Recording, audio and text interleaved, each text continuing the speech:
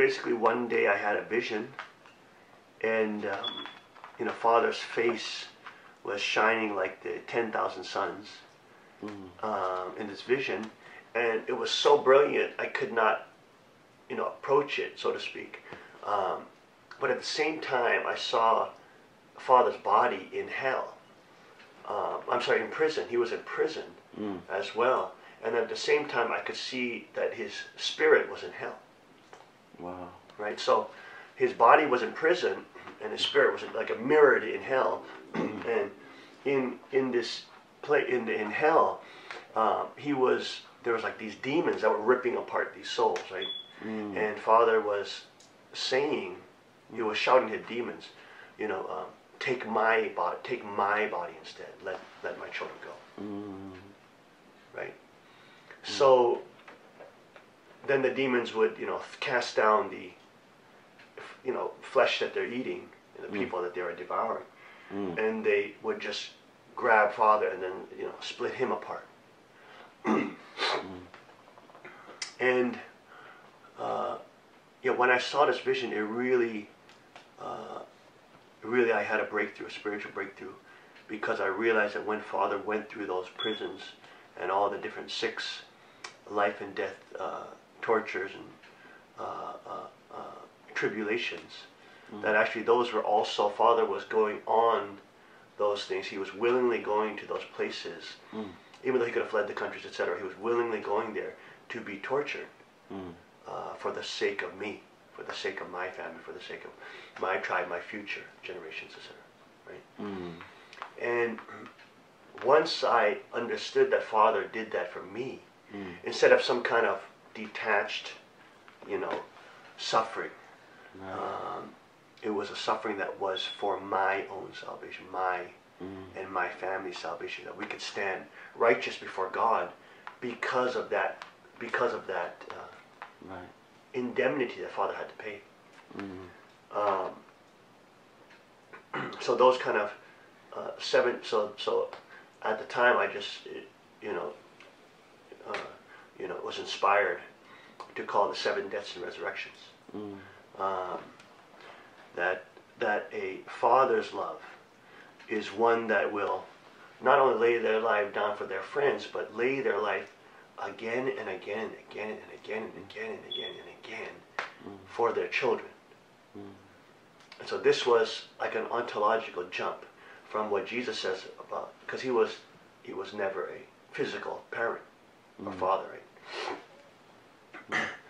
um, but what the I realized what true father was talking about when he's talking about true love is that kind of love that he actually actualized. You know that he actually went through for all, in all those different uh, uh, imprisonments, tortures, uh, crucifixions, etc. And that all those things are not some detached suffering or some detached payment of spiritual uh, indemnity or, you know, spiritual uh, uh, prowess, but that they were, those were, those are tribulations and the path he had to walk to liberate me from, from my own uh, unrighteousness before God right? And to be able to allow me and my family, my children, etc., my grandchildren, to stand in front of God. Um, and uh, yeah, once God gave me that, uh, that revelation and that uh, vision, that totally transformed my understanding of Father and my relationship with Him. Because before then, He was a great spiritual teacher and a great uh, man and a great, you know, uh, leader, etc uh, and all those things. And I didn't really know the meaning of Messiah or Savior. But after that, that kind of revelation, then I could understand what Father was. He was the Savior.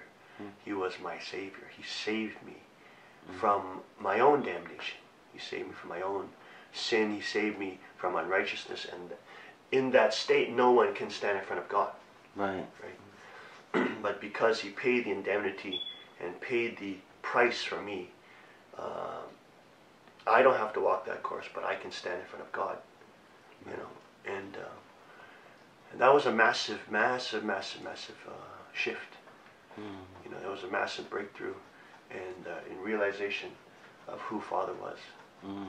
you know, and uh, what kind of value he had. What what he was not just a teacher or a prophet, you know, Right. and he, you know, Messiah wasn't just another word for a prophet. Right.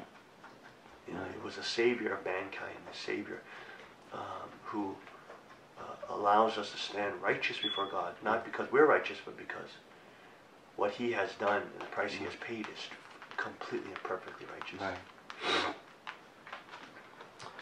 Wow. Yeah. Wow. Thank you. So that was, I think, a real breakthrough for me. For me. Yeah.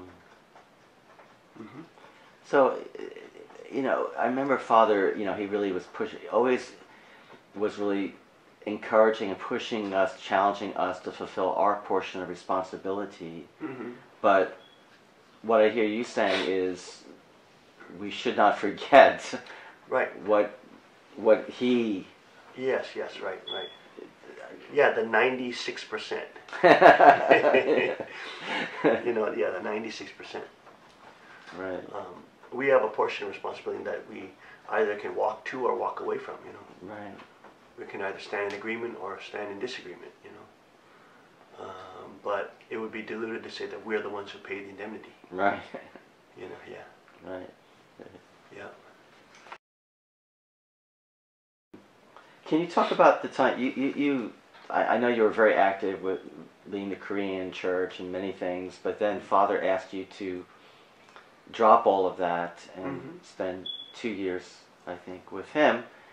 Can you talk about that time and what was that like, and what did you what did you learn, and you know? Oh, it was a really amazing time. I think it was a real, it was, you know, probably one of the most blessed times in my life, because you know, uh, we had all these, you know, Father had entrusted everything to us. You know, I was head of, uh, you know, the entire World Church, World Mission Department, World UPF, World Youth Federation, World CARP, everything. I mean, Father entrusted everything, you know, to me.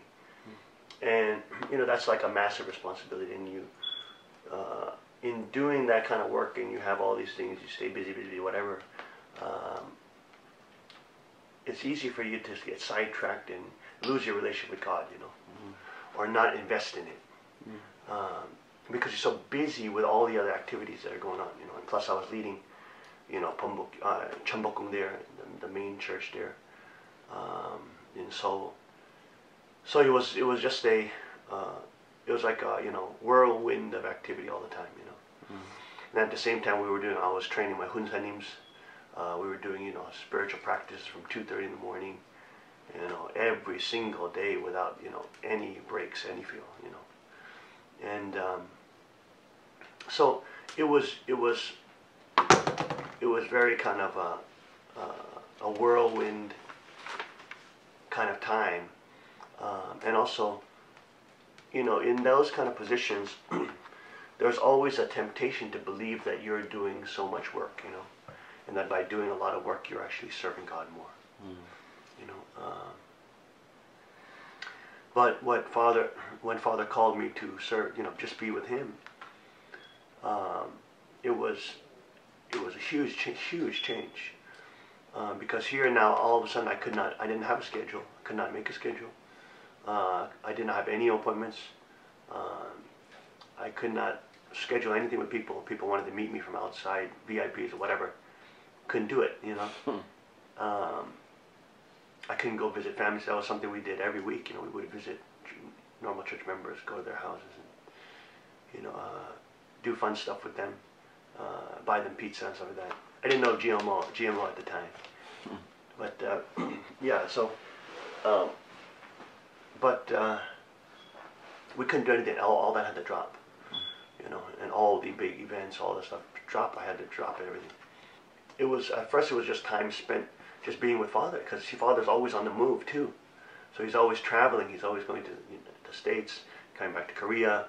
There was a world tour all of a sudden that he scheduled and did. You know, so all those kind of things. Um, but just just ba- basically being with Father, going with him fishing constantly, going with him, you know, uh, Las Vegas all the time. So we would be fishing on Lake Mead, or in the next day we could be fishing on the Pacific Ocean. You know, but it was always this. So so it was very different. Um, and you know, at the time, I wasn't a huge fisherman or something like that. Um, and so I would just I would use that time to meditate. So I was like on the boat, I would meditate, or I would just you know uh, try to do studies. Um, I'd be in the beginning and just try to get used to this kind of schedule because it's like a schedule of no schedule. you know, you just have to go at the whim of where Father wants to go and wherever He's going to go, you, you have to go. You know, you know, you have no say in the matters. You have to totally surrender to it. Um, so it was an adjustment. You know, it was, it's, it's kind of very taxing. Yeah. At first, it's very mentally taxing because you don't know what to expect. You know, it's always. But at some point, I just uh, was able to release that, you know, that anxiety or that stress from it, and uh, just totally just ride and flow with Father. You know, and just, uh, you know, instead of, you know, just uh, bickering, complaining, well, I, I have my schedule and all that, you know, I, I can't do my work or this and that. What if things can fall up or whatever. You know, just let go of it all none of that really matters. What really matters is being with Father, you know. And um, so we had, I had just incredible times with Father when I when I let go of that. Then I could actually be myself. That's when I started showing like the different martial arts that I knew, I knew, and we would watch the UFC and mixed martial arts together. And you know, when Father was not on the boat, and we would come back and we would watch martial arts contests and this, this, you know. Then I would do demonstrations, and he would make me, you know, you know, uh, tap out and choke out and all the security guards, you know, things like that. And so, so it, it really became a tremendous uh, time. It was just like I was spending time with, uh, you know, uh, with Father in such an intimate way. You know, we're bonding in such an intimate way, you know, and uh, I just felt that Father just, he could, he totally, uh, you know, uh, like I was surprised that he loved the fact that I, I knew all these mar- you know I did all these martial arts you know and because uh, I had kind of hidden them from the public I had not shown that I I do this I always wanted to keep them kind of you know um, but father just totally embraced it and um, and he just you know he just was so excited about it and uh, you know um, when there were like storm warnings and like the, the government would shut down like the oceans uh, so you would not be able to go out. I mean, they would do storm or hurricane warnings, and we would be on an island, right, in the south of Korea, in the middle of nowhere on a tiny island. So then there would be, you know, if there's a hurricane going by, then you can't go out on the ocean. So we'd be stuck indoors, and uh, you know, and then you know, basically we would have already downloaded all these, you know, MMA, you know, fights and you know, battles, and uh, you know, father would watch it, and then I, you know I would point out things of what they're doing, what they're trying to do, and kind of do commentary. And uh, it was so it was so uh, amazing. It was a really amazing time because I could really bond, bond with Father, as father and son, uh, I had great times, great moments where I, uh, when we, when we went fishing, you know, when Father would take a nap, I could just go in the cabin with him alone, and just lay down and, and sleep right next to him, watch him. Mm. You know, I have I have nice, uh, wonderful pictures of him, you know, just resting like that, and um, very very intimate times you know, that I got to spend with Father, and I think that's in the end that was so important because it showed me it's not about religion and you know making yourself religiously pure and doing all these conditions and all these work and all this stuff. It's not really in the end. It's not really about that. Mm. That's really to show men you know, or to try to prove to people that you are a good person. Right? But what really matters is not religion, but your relationship with God. You know, that's what Father brought me into. He brought me into that relationship. That was beyond the religiosity of Him, you know. Him as a religious leader or religious head or religious pope or religious, you know, it brought me into a real relationship with Him. You know, that was that was so intimate. It was so it was so real. It was so filled with um, joy and affection and acceptance and uh, and embracing. You know, I mean, all these things that I thought that I could not show as a religious leader. You know, like mixed martial arts gets really bloody. I mean, it gets really, really bloody, right, when they're fighting. And you do all sorts of nasty stuff, you know. Um, and I just felt, you know, in my image as a religious leader who meditates like hours and hours a day, it just didn't fit, you know, in my own box of my of my own self-image, you know. And uh, but that that just got shattered. It just got liberated, and I was able to uh, to to embrace that warrior side too. And Father totally embraced it, you know. So that was like amazing. And I believe that is that time that get got me through all the tough times after when Father passed and all that craziness happened. Um, it was that relationship that I had with Father uh, that he brought me into that really was able to uh, nourish me uh, in a time of despair and emptiness. Uh, when, when you know, when everything, when we when we lost everything, and you know, uh, even our own mother, you know, turned against us and things like this. So, so you know, I, that period of time, I think, is probably the most valuable time that Father ever bestowed upon me. You know, and as his successor and heir, I think without that understanding, I would just be teaching religion about Brahma, you know, and not relationship. You know, and that's such a massive, massive, massive, massive shift. You know, I would just be teaching theology about Brahma, not the actual person of God, the person of Christ, the person that we're supposed to know and become intimate with and, and share our lives with. You know. So yeah, it's, it was, I think it was a it was it was a massive, massive gift that Father, grace that Father gave me. You know, I would because I'm a prankster. So I love I love you know when she's all nervous and stuff like that. You know, why she's changing and everybody's trying to you know not supposed to be in there. then I would sneak. I would like peek in and like, but it, peek in in a way that she knew I'm peeking in. you know, and then she'd be like, yeah, yeah, yeah, yeah. right. So, yeah, that's I, I used to fool around with it like that. Yeah, yeah. You know what I mean? But it's not like you know, but it's not like. But you know, I mean, mother was a more of a tradi- You know, she was a very kind of strict Korean mother. Right, right. So they're very rigid. You know, they're like, um, you know, if the clothes don't fit, or you know, if the clothes don't match, or if they're not good for the image, and it's all about you know image, and it's all about honor. Right. So Eastern culture is very like, much like that. And she's not the only person like that. There's a lot. Most Korean and Asian women are like that. Right. They're a lot about images, especially if they're from a you know a, a high-profile family. Mhm. So I mean, but I was I was you know she, she would always try to dress me up in polo outfits and was I hated that stuff. I was a skateboarder. I dressed in raggedy clothes. you know that drove her nuts. I grew my hair out long. You know when I was younger, that drove her nuts. You know, and then I be you know then I was training with Buddhist monks. That drove her nuts. you know, so I would never want to be put in the box of you know of that kind of upper class preppy kid. Right. I hated that. That was like my absolute nightmare. All my friends in high school were minorities, black kids, Hispanic, Hispanic kids, Italian, you know, uh, kids. Right. Like my best friends, you know. So I did not get along with that whole preppy white uh, elite sort of elite culture. Right. Uh, it was very foreign to me, you know. Um, but sort of in that in that realm, since we were a high-profile family, there was the pressure of trying to always put the kids in that box Right. because we were, you know, schmooze with the elites, you know. Right, right. but I just, I always, uh, yeah, I, for me, I never, I never, my spirit just uh, cried out against being put in that box. No. Actually, can, I'm very interested. with The thing you just said. Yeah. You know, the father chose to have you grow up in America, Mhm. and I'm just, I've been thinking about that a little bit because, you know, what if, what if you had grown up in Korea? You know, how how how did growing up in America, like even what you just said about knowing Yeah.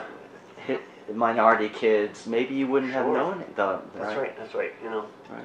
and that's absolutely right. We would have, we would just been like the normal, you know, um, big corporation kids. You know, like these spoiled brats who, um, you know, just and super elites. You know. Mm-hmm. I kind of rebelled against that when I was younger, you know. I did not. That's why I, I started, you know, training like uh, you know, like rough martial arts and combat martial arts. And, you know, you're you're training with street fighters. You're training with, you know, professional fighters. You're training with Mm. guys who fight in rings or at the time cages or bare knuckled. I mean, these are people you're training with. They're not, they're not what you would call the polo elite. Right.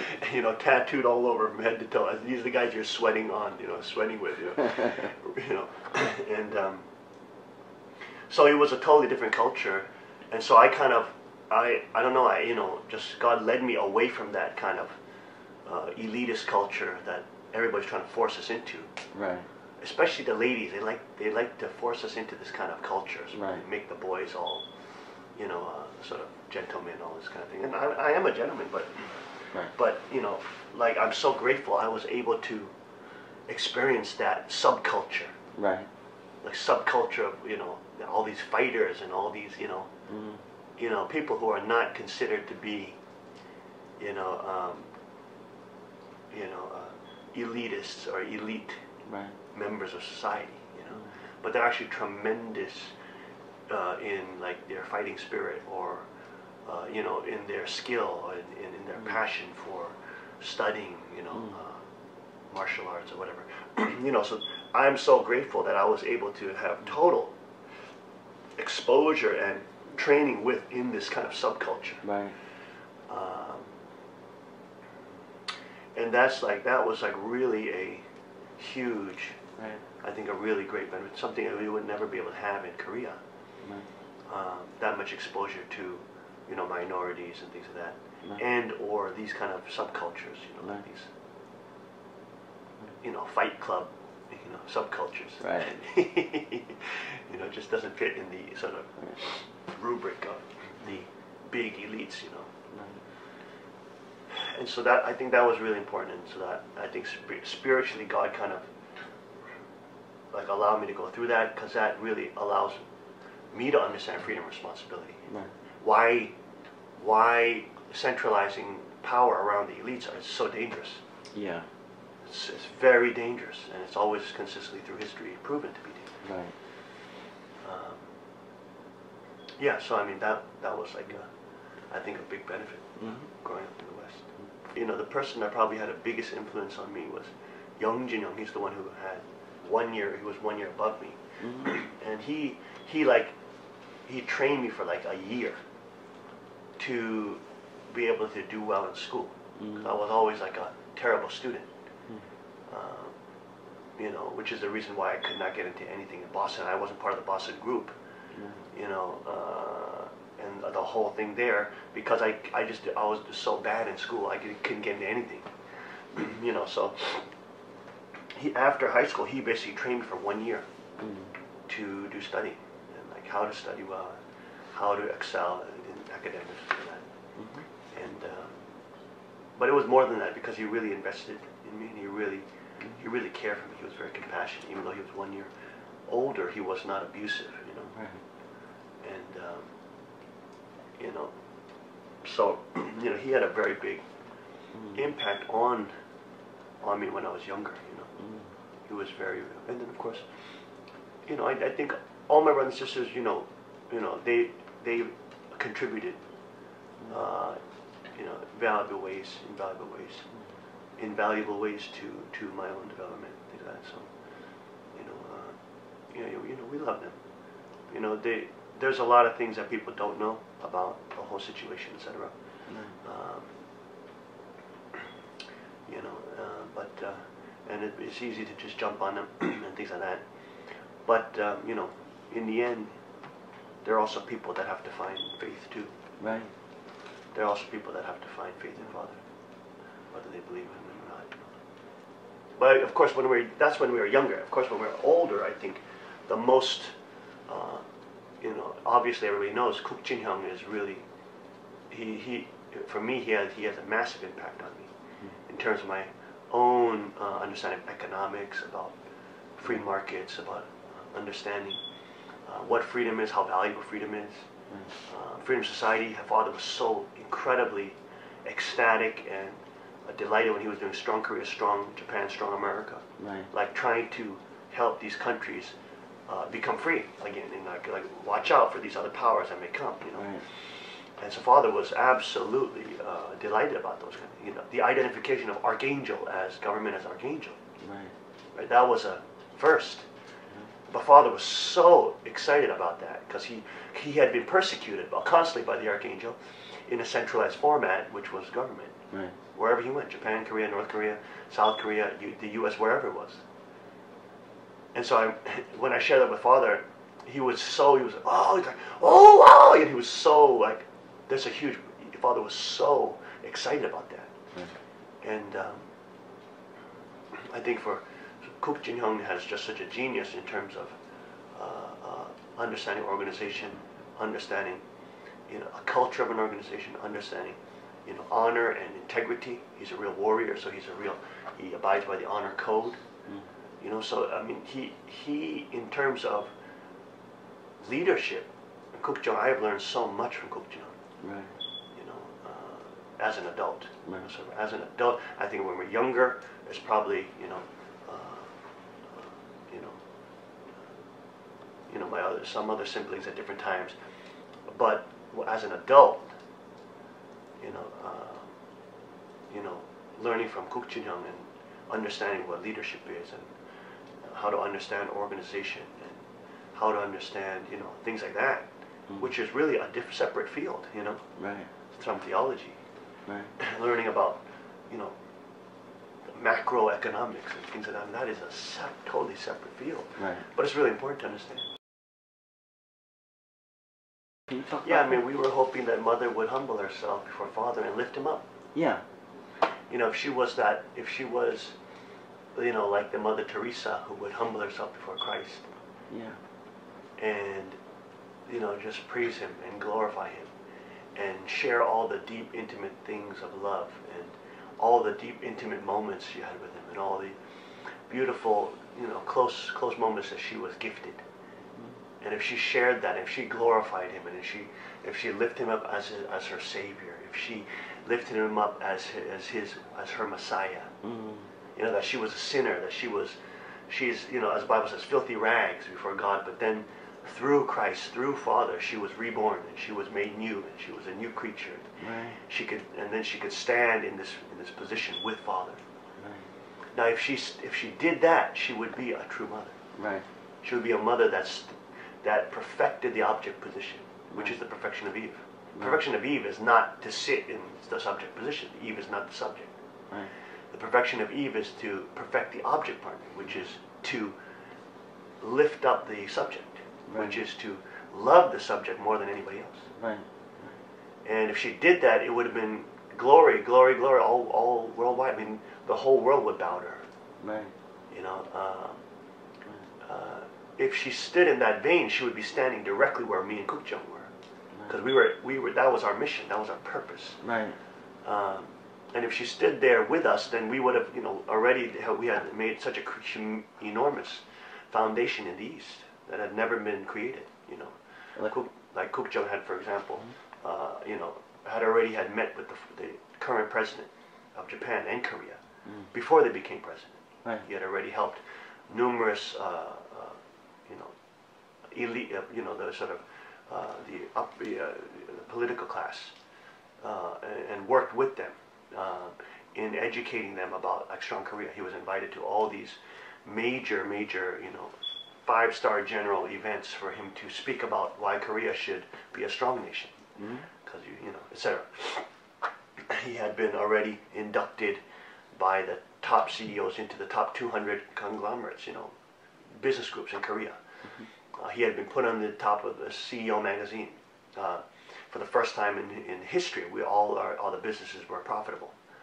You know, so there was a massive shift, and so that's the whole upper, uh, you know, the sort of the the the the the, the, the movers and shakers of Korea and Asia were already realizing that this guy was, you know, this guy is up and coming, massive, massive up and coming leader. And you know, he was invited to different Samsung uh, events and LG events. He ended up recruiting a lot of their people into the Chetan and things like that. Very, very highly capable people, you Mhm. know. And uh, So it was a, such a massive change, and this had never been done before. Uh, in Korea, you know, nobody hit the, the businesses were ab- abysmal. They were run by you know people who had you know no notion of business. Their the idea of business was getting subsidies from father. right? so, you know, basic communists running these things, and they have no idea what it means to compete in the free market, which he had already done with his business for the last 20 years, Right. and become top 10 in his industry. You know, with a with a bankrupt company. Right. you know. So, you know, he knew he knew the game. He knew the free market competition. You know, how to compete in that world. Right. And so he had created such a massive foundation. Uh, he had already created inroads with the top levels of government, uh, the Department of Defense. Uh, um, uh, vice chair was at our events. The current vice chairs were at our events. That's like that's like having you know, right, the, the, the vice chair of the Department of Homeland Security or something coming to your events. Right, it's like Right. massive, you know, people, right? Uh, and on the other on the other side, in the religious world, I was, you know, we had made great inroads with, you know, the the largest Buddhist organization, millions and millions of uh, people in that organization. Um, the head monk came to our temple, came to our sanctuary. You know, I would go visit them frequently. Um, uh, so we were also in the religious realm too. We were already making inroads with all these very national religious leaders. Mhm. You know, um, so it was like it was at a time where it was like, you know, and internally we were getting rid of all the corruption and the lobby groups and the you know the the, the, the, the these these little institutions that all these little fiefdoms that all these Korean leaders had built. You know, we were just dismantling them and their abuse of the Japanese members. Right. So we were dismantling this whole racket Mhm. um, and uh, uh, system of sort of you know exploitation. And Father was fully allowing us to do it. He was fully giving us uh, giving us all the approvals to do it because every major decision we, we we went to Father for approval. So he would actually have to sign on on or off on it. so so that was a massive massive you know change. Now, and so, and that was our, that was me and Kook Jin, and that was really our, uh, you know, our sort of, you know, brotherly, you know, uh, pact that we would, we would, we would work to free the people Right. uh, from the, you know, the, uh, the, uh, the um, iron hand of these Korean leaders that created these systems over them Right. you know, and then of course scapegoated father as having done this. But father really, he was not a micromanager. He didn't. He, he would let people. He would he would do things and then bless people to do it, but then they would be able to create their own things. Right. He would not micromanage everything. Right. He's not a micromanager, control freak. Right.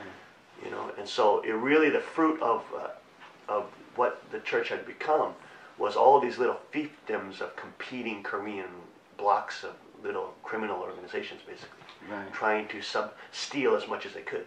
Mm. Um, and then either you know scapegoat, you know, uh, father or his family, you know, either which way. Um, so basically, that racket was being broken up, and uh, father was, you know, uh, uh, he was totally allowing us to break that up. And basically, if mother would, if she stayed in her position, if she lifted up father, and she realized that her sons are working for the freedom of the people, Right. Boy, she would have had tremendous success. Yeah. She would have tremendous victory. You know, Yeah. she would have, she would have been a tremendous woman. Yeah. You know, and she would have been, she would have been honored as the true mother. Yeah. Right. You know, instead of what she has become now, which Yeah. is very moving to me was really that you, Kukchanim, and Yohanim, you wanted Mother to be a success. Yeah, of course. I mean, Kook Jin had set up her whole, Yeah. you know, Samgyohe uh, mission foundation so that she would have resources, so she wouldn't have to beg people. You know, she had like half a billion dollars, which is all gone basically now, Yeah. because she's basically been robbed of it by people who tell them they love her and Yeah. grant me forty million dollars, blah blah blah. You know, so, so it's- it's gone. I mean, it's basically gone from what I hear. Right. Um, and you can of course see how they're trying to uh, strangle even tighter and tighter the the Japanese Yeah. uh, harder and harder. yeah. You know, so again, if she if she would if she stayed in her position Yeah. as the object and not lusted after Right. a position which is not hers, Right. then she would have been glorified. She would have perfected Eve. Yeah. Yeah. You know? And that's the kind of tragedy is that she, because of her lust of power, she fell and she lost that position. She lost the glory that she could have had. Yeah. But that doesn't mean Father's victory is not over. The kingdom will come, but it will come through, not through blessing, but through tribulation, as Right. Father prophesied. Right. Yeah, I mean, I think there was always an underlying, you know, realization that, you know, mother kind of saw herself as a victim, so she kind of framed her own self-identity as a victim. You know, I'm, I'm kind of, I'm a victim. I'm in the circumstance, and you know, father has all the power, and you know, I can't say anything. I don't have a voice, etc. And um, you know, there's all these things I have to hide, and six marries, and uh, whatever, whatever. And you can still see family fraud is still trying to hide this stuff Right. right? Because they don't know they they because when it comes when it comes to it, they don't believe Father was the Messiah because they believe the same stuff she believes, Right. right? That it was that he has had weakness. I mean, this is what their leadership says you know, on record, right? So this is you know so clearly they don't believe in Father as Messiah. So they're so so we knew that she everybody knew that she had like a victimized mentality. But nobody knew the extent to which she would pursue that you know, uh, nobody knew the extent to which she would aggressively pursue sort of vengeance against that. You know what I mean? Right. And this is what I think is so shocking and surprising for people. Right. You know, and of course it was absolutely, utterly uh, shocking to us and distasteful to us when we when we had heard her vitriol after Father passed. Right. You know, uh, and that's why, of course, we now people know that's why we didn't help her. We could not help her. We had to walk away from it. And uh, that's very important that Cain and Abel have to separate from from their mother, who separates from father. Right. Without that, freedom can't come. If we stayed with her, we would have been part of that. We would have been part of desecrating father. Right. So there would be no way for judge for the kingdom to come Right. right? But because Cain and Abel separated, and because Cain and Abel stayed true to Father, who is the subject and the center, mm. then even though she had has done this and lost her position as true mother, still the kingdom will come, but it will come through the three kingships Right. And through you know uh, the three kingships that Father Himself has crowned. Right. So in that in that sense, my wife then has to play the role of now fill the position of Eve, and play the role of true mother to Right. fulfill what she has fallen out of. You know, um, but that whole situation, Mm-hmm. um, you know, that was that was a massively, radically surprising thing. Nobody assumed, nobody knew uh, the extent. I mean, towards the end, we had seen, of course, her getting in larger, larger fights with father, and you know, saying that he was from fallen blood lineage, and uh, you know, his father saying to her he's going to divorce her, and so we had seen those kind of things. Right. Um, so we knew that it was escalating, but you know, before then, like when we didn't have, I don't, when Chongpyeong wasn't there, I don't think it was as bad. Maybe it was just because I was younger and I didn't, I wasn't privy to all these things. Mm-hmm. But you know, after Chongpyeong, we could see really a larger arrogance building in her. Mm-hmm. You know, like I created this for father. Without me, it would never. Without my Han lineage, it would never. You know, without Han Hong Han money, it would never have been done. This, you know, the, all this glory is, you know, was made by me. You know, like the stadium was made by me. The palace was made by me. Even though the father had given approval for the whole world church to come there, and that's why the donations poured in. Right. It was not because she had some power or spiritual power, the Kim Hyonam, whatever. Father said, okay, I will allow her. I will allow all members to go to her lectures, Right. Right. which is the reason why they read. Right. Right. No other reason. Right. Um, so, again, not giving glory to the one who is worthy of glory, which is God, Right. and his body, Christ. right? His physical manifestation who is Christ. I mean, that's the role of any believer. Right. You know, any person, it's like white belt level. You have to understand, right? As a believer, is everything is for the glory of God. Right. So mother had not even realized that level of understanding that everything has to be for Father's glory, for God's glory. Right. No, you can't take credit for anything Right. on your own. Right. You know, because in the end, it's God who had had set up everything for you to have some victory that you had that you think is yours. Right? Right. So, you know, so it was, it was, uh, you know, so obviously we knew she was, uh, you know, dissatisfied and we felt that she was victimized and things like that. But we would, of course, it was so shocking. And now the world has seen the extent of her vengeance, Right. you know, going after everything that Father has established, even erasing him from the, the, the blessing of marriage ring. I mean, just totally, totally erasing him. And, um, you know, we knew about this three years ago. We knew that she was pursuing on this path, uh, you know, towards her own, you know, godhood, etc. Uh, so this is the reason why we had to step away from it. And number two, Right. you know, we were trying our best to convince mother to do otherwise, Right. Right. right? And I know, I know the public well enough that if at that time, if I said stuff, I would just be an uproar, and everybody would say, "What are you talking about?" Right. Eh, But but now, after three years, there's so much evidence Right. that even though you want to deny it, you basically have to go in a hole and you know hide yourself from it. Now, I mean, Right. you, it's, it's impo- if you actually look at the evidence, it's impossible to deny that she has left father. Yeah. Um, so that's why I'm not an idiot. I understand sociology. I understand psychology. I understand, you know, I understand mob psychology. I understand, you know, uh, public public life. Right. I'm not an idiot, you know. And these people may, you know, hope that I'm an idiot, but I'm not. Right. You know, there's a reason why Father chose me, and there's a reason why, you know, Father trusted me. Right. You know, we're not stupid, and Right. we're we're honorable and loyal people. Yeah. You know, and material wealth does not titillate us. It does not. That is not our purpose for existence. Because that, if you have honor, that will follow. But if you only pursue that, you will lose all your honor. You will be dishonorable, Right. and only curses will follow you, Right. and, and judgment will follow. And that's what you see with family friend, family fraud. You know, Right. basically what they have pursued is they pursued the love of money, the love of assets, the love of power, Right. and they have not pursued the love of God. They have not pursued the love of, of the Messiah. They have not pursued the love of Christ, which is the reason why they're imploded. You know, and we, we left not, with nothing. We have nothing. Had absolutely zero here. Right. You know, I I was you know had to go on Obamacare. You know, I nothing. We had nothing. You know, and uh, and I don't feel you know. I, I feel that was the greatest blessing because we lost everything, but we gained everything because we didn't throw away Father. Right.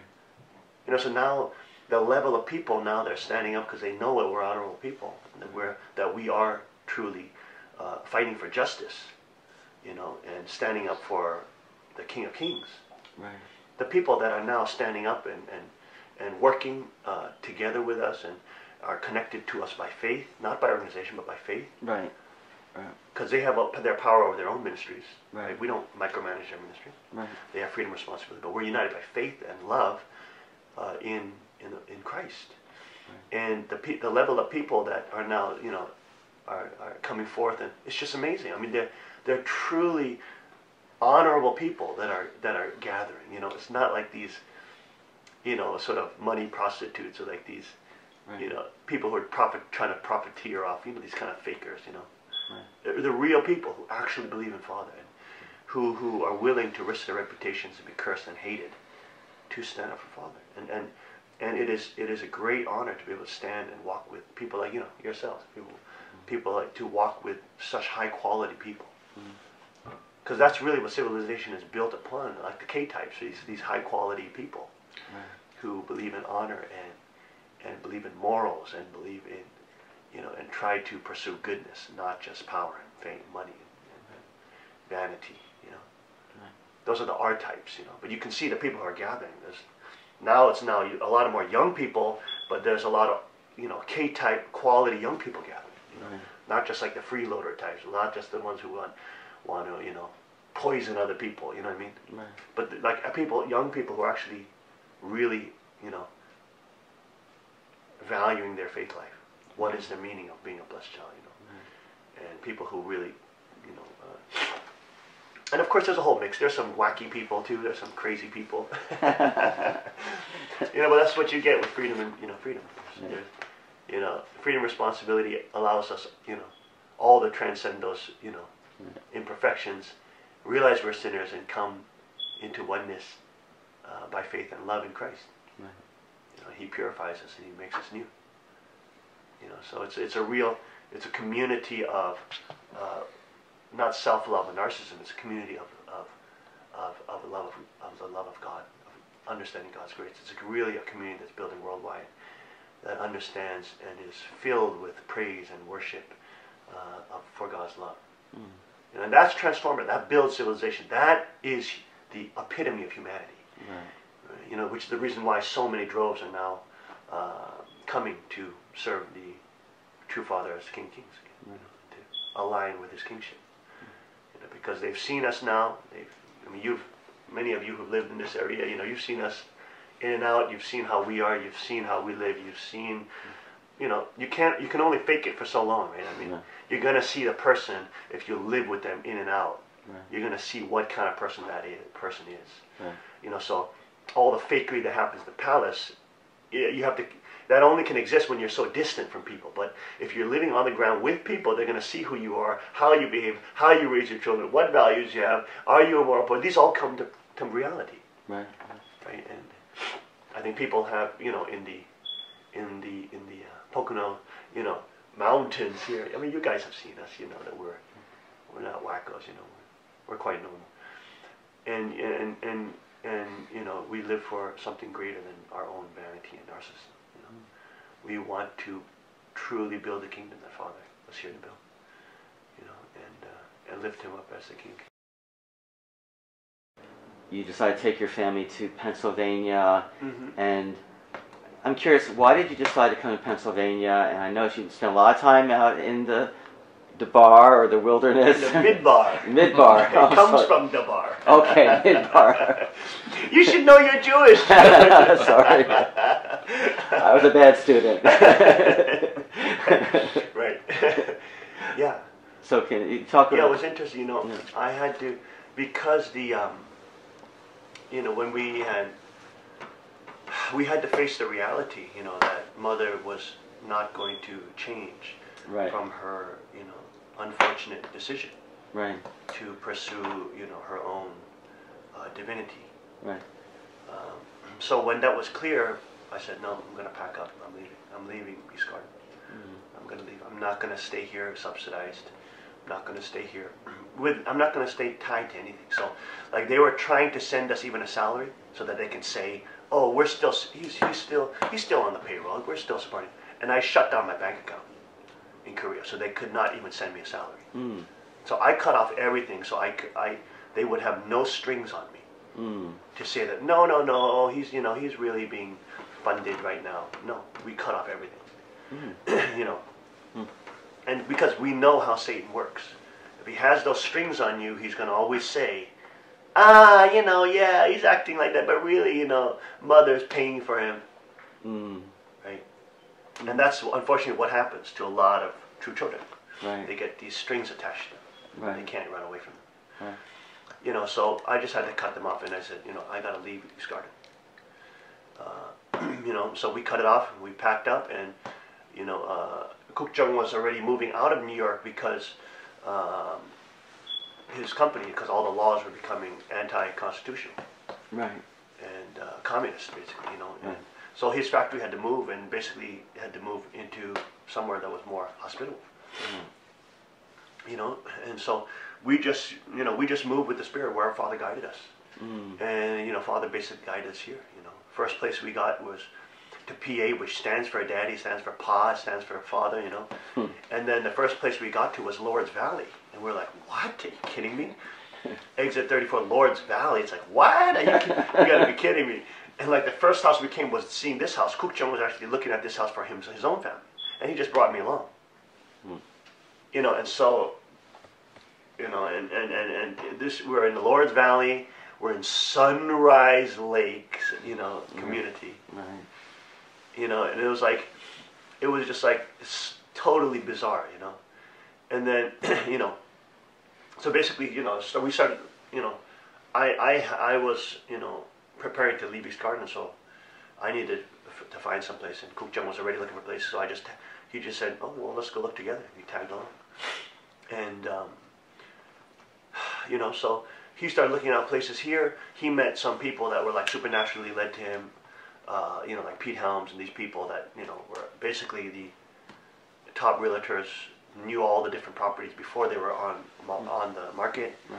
And then somehow God just led all that to happen, and then you know he ended up finding his property, 600 acres for like you know a steal price and all that kind of stuff, and just huge swaths of you know wilderness were just you know handed to him. You know, uh, and uh, his, even his own house, you know, uh, you know, uh, what was it? His own his own house, uh, uh, you know, uh, uh, one five four is the address of his own house, and that was the exact time of Father Seonghwa, one fifty four, you know, in the morning. Mm. You know, and so like we're in P, we're in Pa, the sit country, the state of Pa, and it's also known as the state of independence, Right. right? Because Pennsylvania is where the, the Declaration of Independence was, was signed, Right. right?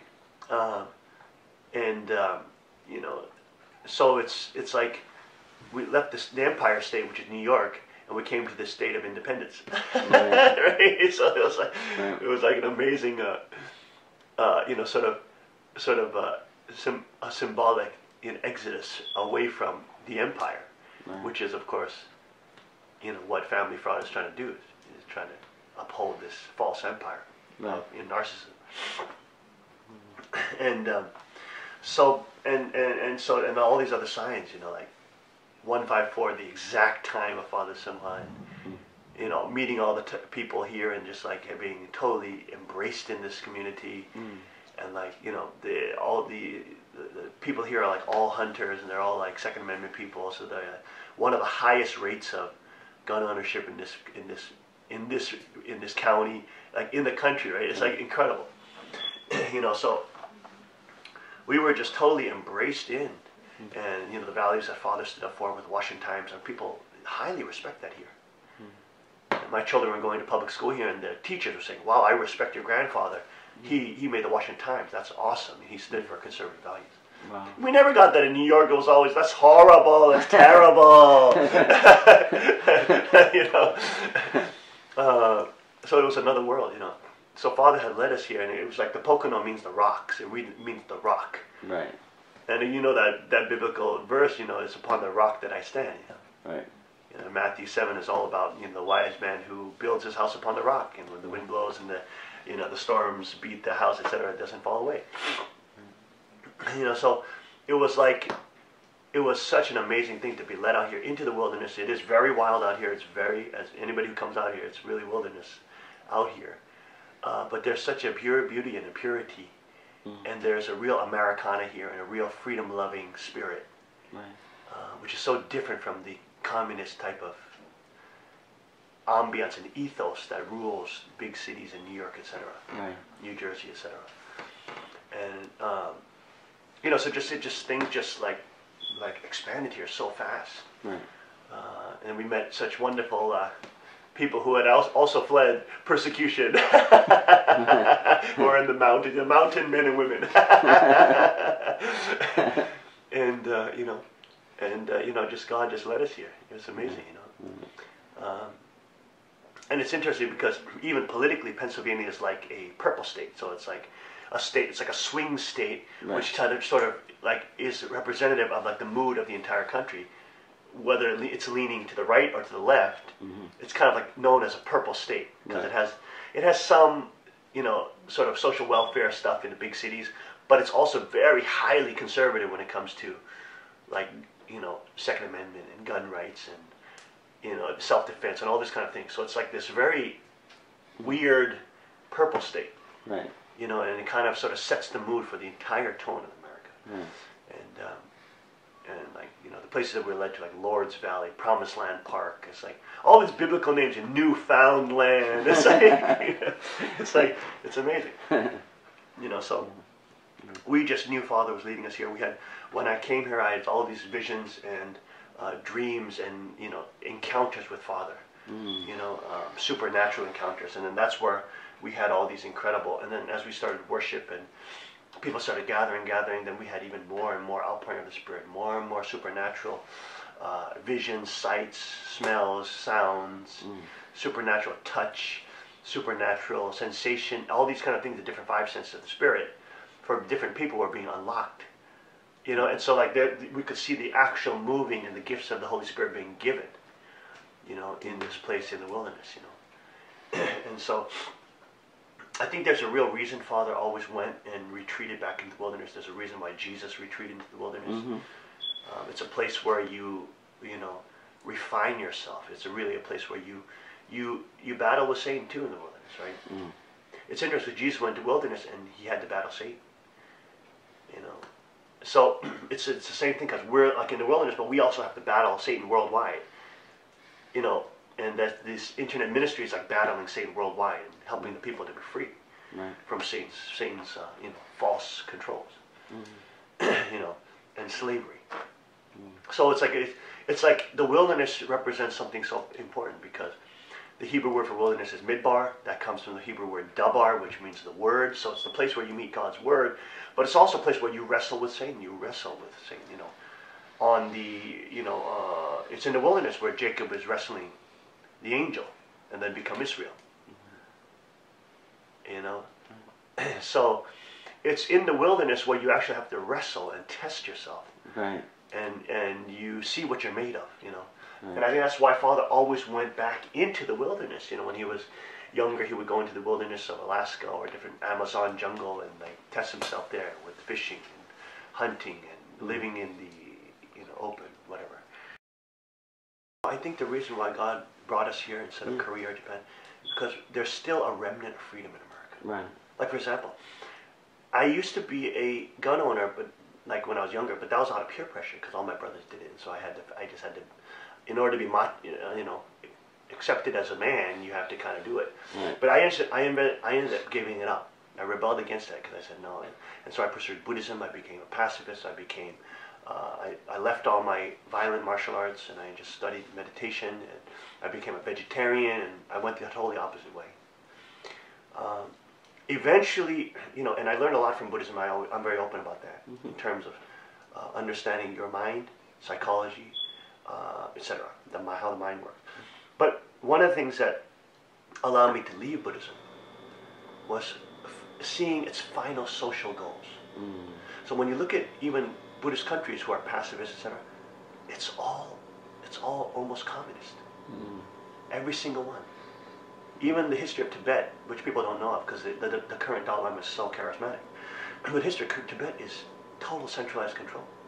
Mm. Uh, totally uh, privileged elite superclass of, of, of monks, clerics, Mm. uh, etc. There's all sorts of sexual scandals in Tibetan history within the monks monk class. Same that we see in Protestant. I'm sorry, not Protestant Catholicism as well. The sexual uh, pedophilia and misconduct. That also exists in the history of Tibetan Buddhism. uh, and there's a whole there's many many studies on that um, in the West. Uh, but um, so when I looked at the fundamental societies that Buddhism created, because I invested my whole life purpose in Buddhism, and it was so in, so enriched individually by the practices. Okay, and it helps you understand your mind. Yes, individually. But then what happened when it expanded to, to, to the social level? Right. No, it did not create freedom. Right. It did not create freedom for people. Even though the whole pursuit of Buddhism was for free liberation, even Hinduism too, and yoga, all these things. But what are the societies that it creates? It crea- It doesn't create freedom. Mm. It creates totalitarianism. It creates uh, monarchies which are not freedom-based. They are centralized monarchies, right? And when you look at the actual history of the world, the real constitutional monarchies or the or the constitutional democracies that we see in the modern world that create the most freedom, where did that come from? Not Catholicism. Catholicism su- direct supporters of fascism. They supported Nazis. Germany. They supported uh, Stalin. They were they were supporting tyrants, dictators, because they themselves are a hierarchical system. And it's only with Protestant Christianity that you see the advent of a decentralized local governance, because that's the whole nature of Protestant religion. It is a decentralized, localized religion. It, it does not have a hierarchy. Each, each, the faith is decentralized. It is about your faith with God. Right. And you're not beholden to one Methodist or Baptist, whatever. All those are connected by faith, not by organization. Right? so it's this kind of decentralized religion, this decentralized faith, this decentralized belief that we can connect with the transcendent from a decentralized position hmm. is what has what created the American Constitution. Right. The idea that we don't need to go through a government to have our freedoms. That freedom comes directly from God. And so that's the real beginning of freedom in the modern world, which then spreads back to Europe, ironically. It starts in America, then spreads back to Europe, then goes to Australia, etc., all across the world. But how does that start? What theological, what religious realm does that start from? Not Islam, that never creates freedom. Not Buddhism, that never created freedom. Not uh, Catholicism, that never created freedom. It starts from Protestant Christianity. And it's that uh, Protestant Christianity which I hated and rebelled against because I grew up in a liberal culture which rails against Protestant Christianity. Right. And now I know why, because it's so communist. The liberal uh, culture is a communist culture. Right. It believes in centralized power. It believes in centralized government, centralized education, centralized monetary financing, centralized banking, central everything centralized. Yeah. So the liberal liberal uh, uh, uh, cultural spheres in the U, in the West are simply communist cultural spheres. That's all they are. They agree with the eight planks of Marx. Right. So they're Marxists, they're socialists, they're communists, they're feminists, whatever you, name you want to put them, or whatever panty or accoutrement you want to put on, them. they're still socialists. Right. And now I realize why they hate Protestant Christianity so much, more than Catholicism, more than Islam, more than Buddhism, because Protestant Christianity is inherently rebellious against centralist, centralized power. Right. It's inherently rebellious. Right. It's hard to control. Right. Right. It's in, inherently to its bone and its spirit. It's rebellious against centralized power. So this is the this is why you see in such liberal cultures like Harvard, Yale, Princeton, uh, rich elite neighborhoods, you see such a hatred of Protestant Christianity and a demonization of Protestant Christianity. Right. Right. Even though that's the foundation for freedom, a decentralized freedom, Right. right? So I think the reason why Father brought us back here is so I could find that, that root again. Like for the first time, I've embraced my freedom as a man to be able to have self-defense, to carry uh, firearms, and to learn that type of martial art.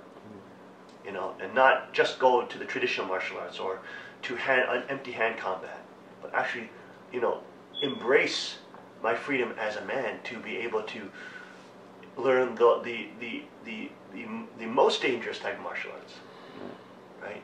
And to be able to have that power of a what Father called the peace police and peace militia, which is that that owners of Cheon Il Guk and free men and women have the power and the right to to to to have dominion over creation, to not live in fear of predators, wild animals, the wilderness, and the and what gives you that power is is uh, learning self-defense.